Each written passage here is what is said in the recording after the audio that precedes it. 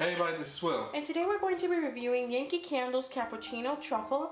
And guys and gals, this is part of the Cafe Culture collection that will be coming out now in April in the UK. I'm going to start by saying that this is a one um, medium jar and it's a one wick candle and it is 14.5 ounces.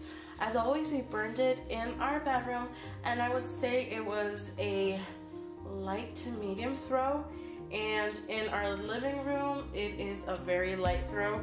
What I can say about this is that all I got in the living room was woofs of the scent.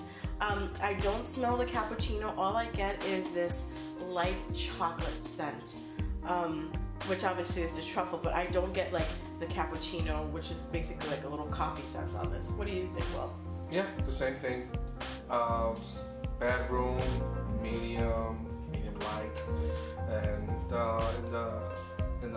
living room, yeah, it's light. You can get one or two whiffs here and there, and yeah, you get chocolate. I get a, like a light chocolate uh, scent.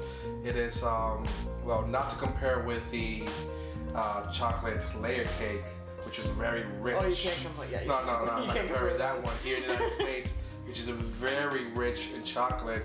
This one is like a light chocolate scent, no coffee. Well, I don't get coffee at all on it, so I gotta say that's it's okay, I guess. Yeah, this would be okay probably in a medium or small bed bedroom. Um, but for a large room, I would not recommend it. Unfortunately, it is a nice scent from you know from what we the little bit that we got, but it's it, for me it wasn't a wow. Yes. It was I didn't get any wow like wow I love this candle. It was okay, um, and I guess that's it. If you like this video, give it a thumbs up. Any comments that you'd like to add, please do so and subscribe. So wishing you all many blessings. Love, namaste. Bye. Bye-bye.